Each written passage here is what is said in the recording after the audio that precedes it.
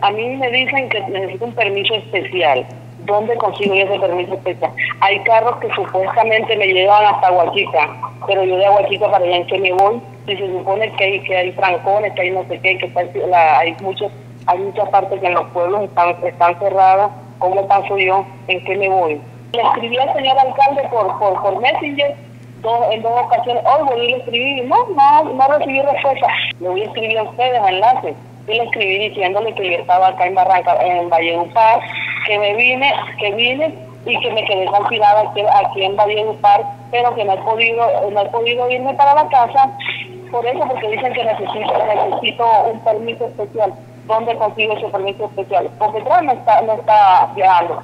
Por casi que son los buses que de aquí van directo a, Barranca Bermeja, no están saliendo. Porque yo no dejo de llamar diario o escribirle. Desesperada porque mi marido es un paciente oncológico. Si bien es cierto que él no, no, no le han hecho no le han hecho quimioterapia, sino solo exámenes de, de control de seguimiento, a mí me preocupa yo no le estoy diciendo que me regalen los pasajes en ningún momento, que me den la vía, que yo pueda pasar y irme por mi casa.